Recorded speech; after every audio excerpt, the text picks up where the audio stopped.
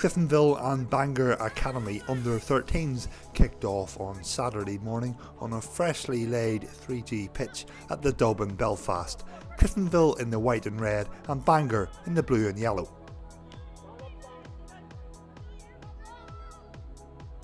Cliftonville started well in the game and some early pressure led to an own goal from a Kenzie McMullen free kick.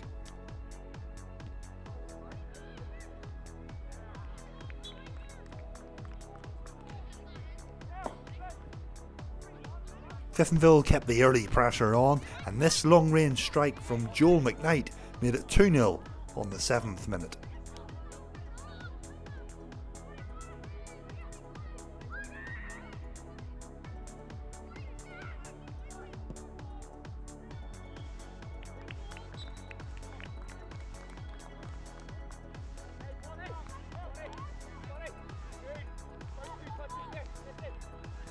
The North Belfast side almost made it 3 0, but Owen Ross got down well to save.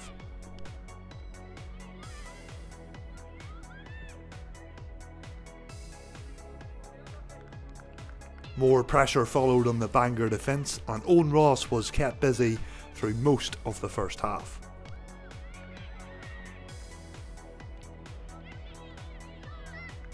Bangor Academy then put together a lovely flowing move and Daniel Butler fired hard and low into the bottom corner to give his side some hope. 2-1 now the scoreline.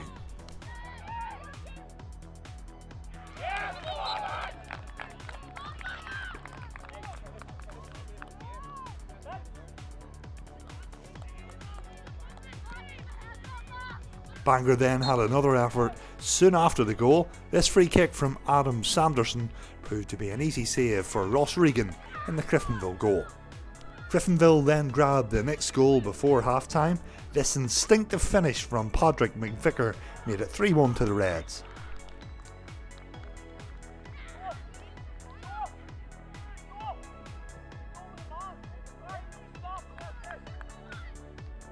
3 1 soon became 4 1 when good pressure in midfield allowed Cliftonville their next goal scoring opportunity, and Stephen Bradley finished it well, firing powerfully into the top right corner to give Cliftonville a 3 goal cushion at half time.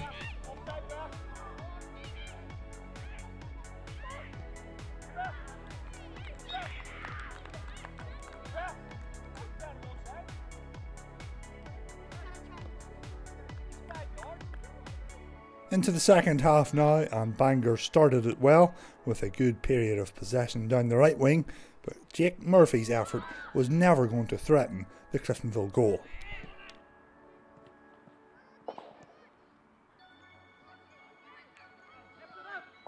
Bangor came forward yet again, and this powerful run from Daniel Butler almost led to a goal scoring opportunity.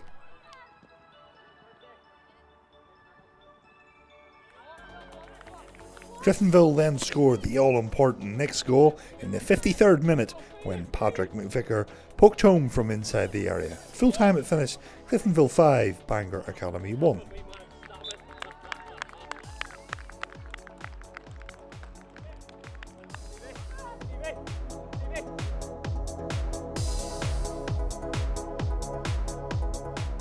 Yeah, very happy. Um, we had a tough game last week against Green Island, um, so we were coming in today, we were well up for it. I thought we started the game really, really well. Um, we were on the front foot, put the pressure on and got a few few goals early on. And they sort of sat back, which made it, you know, not as difficult for us, but we still had a game to play and uh, I thought we controlled it really well throughout. Um, overall, I think we, we deserved the victory.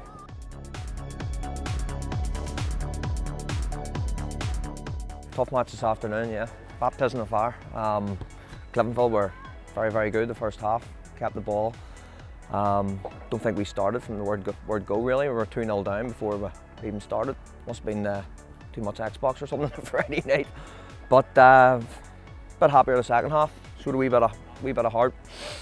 Um, not really a lot I could say to them at half time apart from just show, show a wee bit more heart and go out and went, try and win the second half.